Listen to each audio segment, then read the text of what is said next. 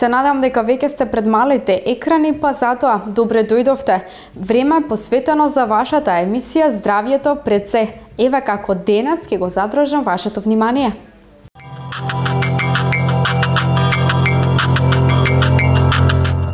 Хипогликемијата представува недостиг на шекер во крвта. Можните причини за појава на оваа состојба можат да бидат консумација на премногу лекарства, премногу или непланирано вежбање, задоцнување со оброк или ужинка и недоволно јадење храна богата со јаглехидрати. Да слушнаме нешто повеќе во следниот прилог.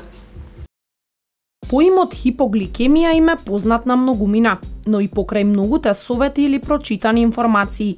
Луѓето во 21 век живеат брз начин на живот, проследен со обврски, нередовна и нездрава исхрана и многу нервози, при што понекогаш напросто забораваат или немаат време за оброкот, а особено го прескокнуваат појадокот. Еве што се може да ви предизвика хипокликемијата. Неурамно тежена исхрана, Исхраната што е сиромашна со јагле, хидрати и шекери, брзите диети, во кој воопшто не се јаде леп, тестенини, ориз и слично.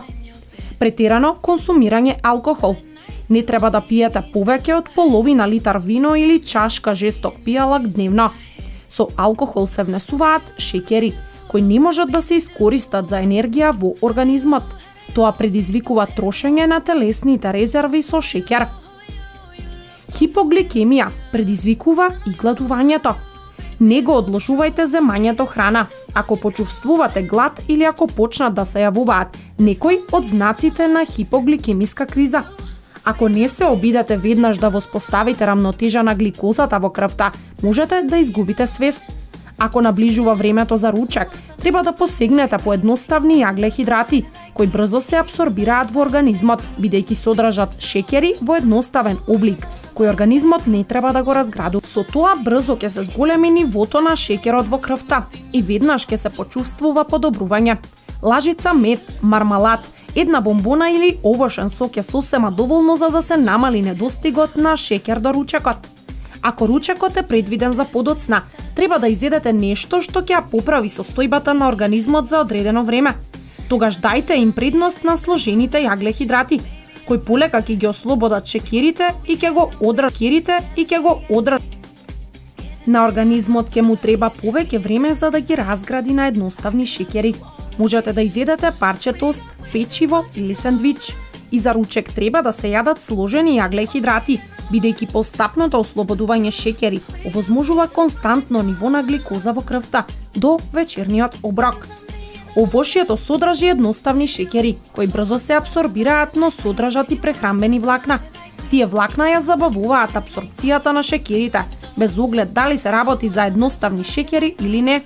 Значи, наместо сложени јаглехидрати, може да се изеде овошје. Ефектите се исти. Нормалното ниво на гликоза во организмот може да се одржува само со исхрана, Особено е важно да се појадува, бидејќи поради ноќниот пост нивото на гликозата наутро е многу низок. Еве еден предлог кој можете да го примените уште утре и да ги исфрлите лошите навики за гладување до ручекот. За појадок да консумирајте шолја млеко или јогурт со житарки или црн леп со малку мармалад, кекси или овошја. За ужина јадете повторно овошја. Ручекот може да се состои со оброк со тестенини или ориз, со варен или свеж зеленчук, а за вечера јадете месо или риба со зеленчук и едно парче леп.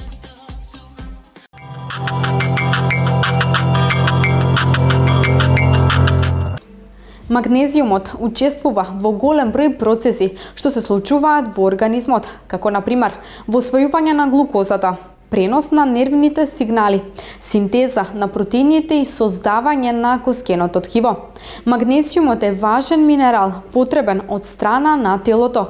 Нешто повеќе за употребата и значење да слушнаме во продолжение. Магнезиумот представува важен елемент во човековиот организам. Потребен е за нормална работа на срцето, нервите и мускулите – а учествува и во активација на повеќе од 300 ензими кои допринесуваат за непречен тек на бројните метаболички процеси. Важен е за преносот на нервните импулси. учествува во создавањето и користењето на енергијата, детоксикацијата на организмот, учествува во процесот на коагулација, транспорт на глукоза до клетките, ги превенира и намалува конвулзиите и друго. Се абсорбира во тенкото црево, на чија абсорбција поволно влијае витаминот Д. Нашиот организам не може сам да го создаде магнезиумот, па затоа е потребно тој да се внесува преку храната или други додатоци на прехрана.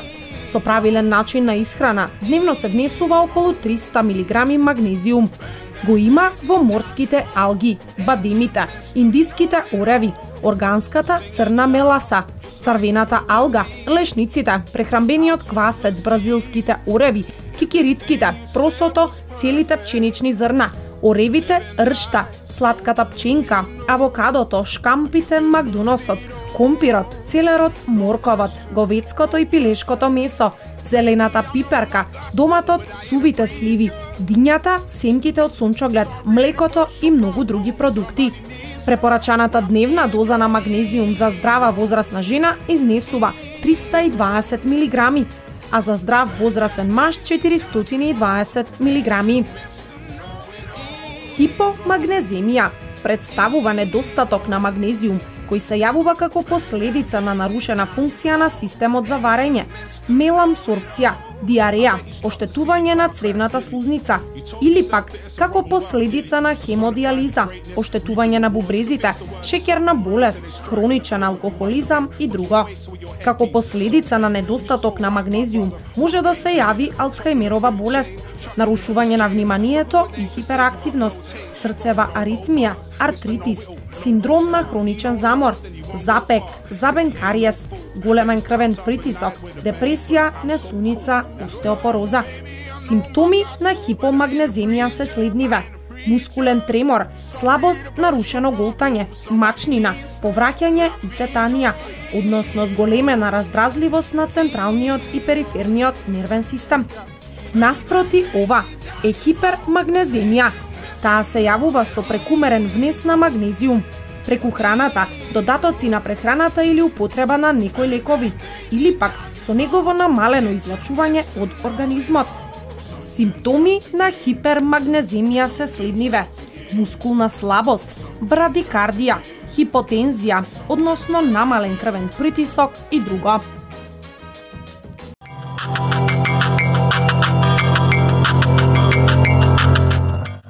Драги гледачи, во следниот прилог ќе слушнате нешто повеќе за кедарот.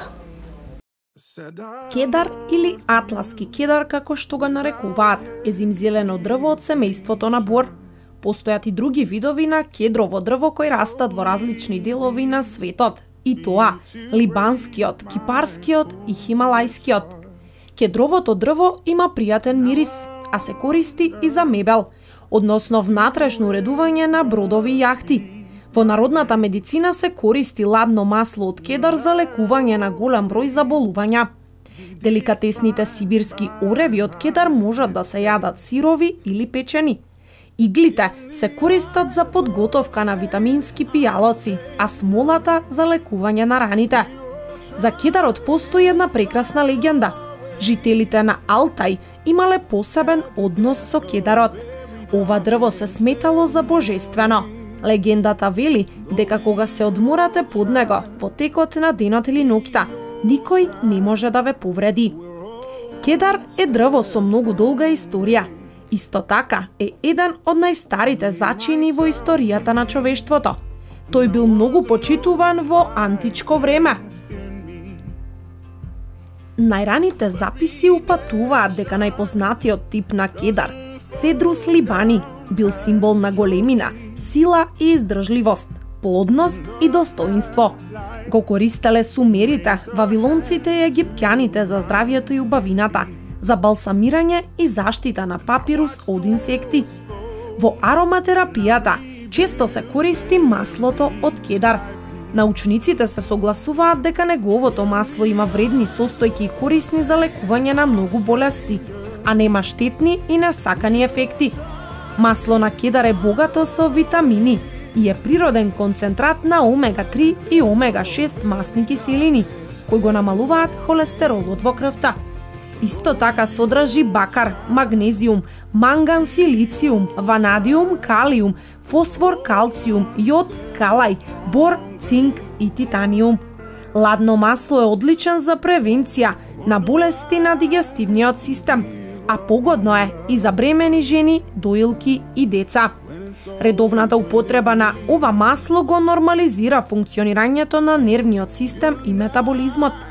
Ја подобрува физичката и менталната способност, помага при чир на желудникот, крвен притисок, а може да се користи и како превенција на атеросклероза.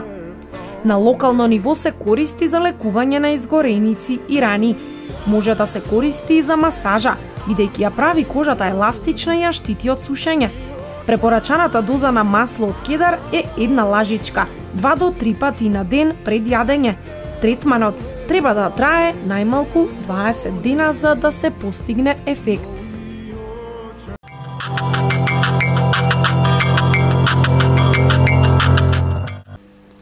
Што треба да направите кога е во прашање ослобнувањето?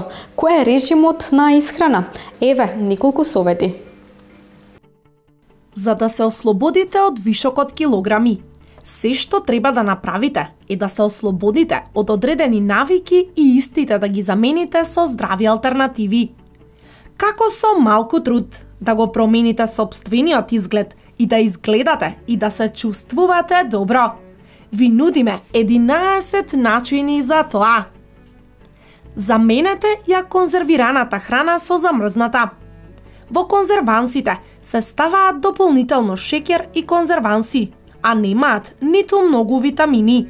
Од друга страна, замрзнатите овошје и зеленчук ги задржуваат здравите елементи и немаат дополнителни состојки кои дебелеат.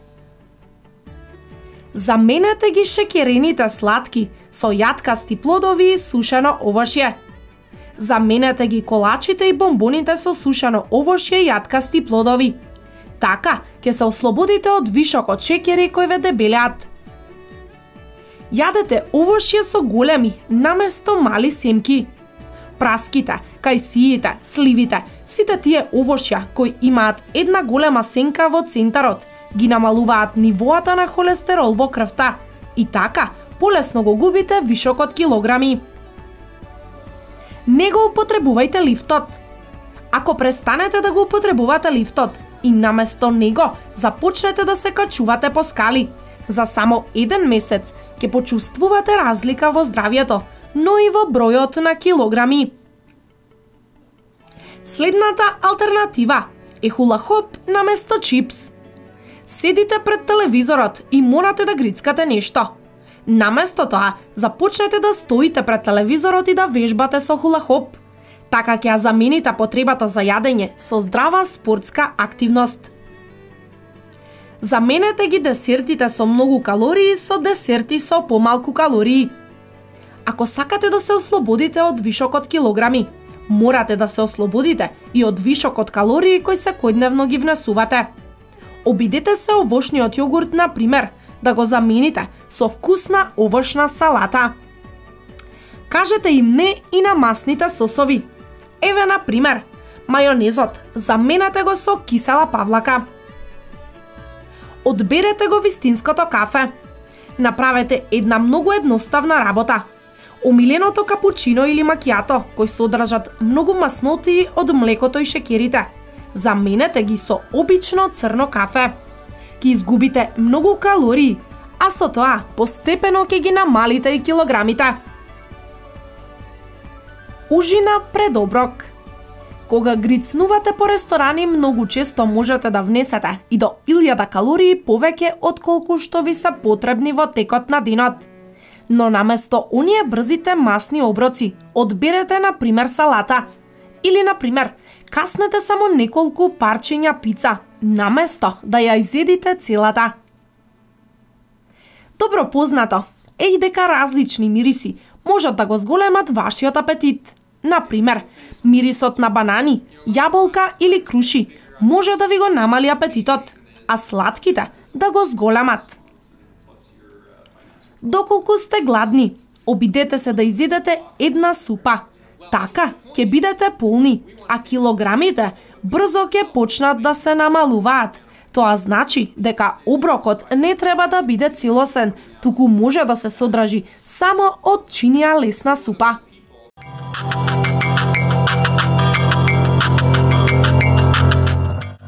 Во кафеавиоторис има повеќе минерали и протеини, повеќе отколку во белиот ориз. Затоа ви предлагам неколку совети зошто треба да го консумирате. Кафеавиот ориз е многу поздрав и побогат со хранливи материи од белиот. Токму затоа, голем број на нутриционисти го препорачуваат како одличен оброк кој треба да се вклучи во секојдневната исхрана. Единствената негативна работа, ако воопшто може така да се нарече, е тоа што му е потребно повеќе време за варење, за разлика од белиот ориз. Но затоа изобилува со огромен број други придобивки, од кои најважни се следниве. Го помага варењето на храната. Кафеавиот ориз е богат со влакна, кои помагаат во правилното функционирање на цревата и дигестивниот систем. Спречува зголемување на тежината. Повторно заради тоа што содржи влакна, ве одржува сити и со тоа не ви дозволува да внесувате храна, кога на организмот не му е потребна. Едно истражување, направено на Харвард, покажало дека жените кои во исхраната внесуваат храна со цели зрна како кафеавиот ориз, имаат 50% поголеми шанси да ја одржат телесната тежина. Го одржува кардиоваскуларното здравје. Маслото кое го содржи кафеавиот ориз го намалува лошиот холестерол, а на сметка на тоа го подобрува добри, добриот холестерол – Истовремено, го намалува таложењето на мастите во крвните садови и стеснувањето на артериите, особено кај жените во менопаузата. Го намалува ризикот од астма во детството. Истражувањата покажале дека децата кои консумирале храна со цели зрна во комбинација со риба имаат 50% помали шанси да развијат астма. Здрави коски Една чаша кафеав ориз содржи околу 21% од препорачаната дневна доза магнезиум. Ова е важно, бидејќи магнезиумот е мошне важен за одржување на вашите коски. Кафеавиот ориз е и богат со антиоксиданси. Иако антиоксидансите главно се поврзуваат со храна, како кел и чија, Сепак, и кафеавиот ориз е исто така одличен извор на антиоксиданси. Тие се особено важни, бидејќи се борат против појава на болести, како рак и Алцхаймер. Ја спречува појавата на рак на градите.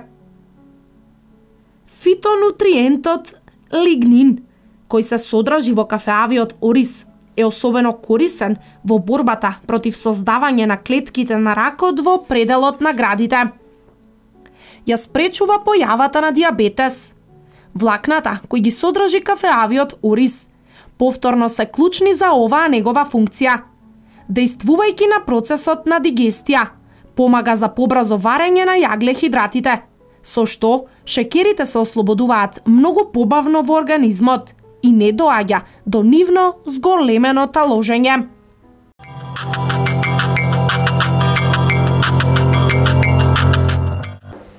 Овде се одјавувам од вас, почитувани гледачи. Ви благодарам за вниманието, внимавајте на себе, а утре очекувајте нови и интересни рубрики за вашето здравје. Пријатно!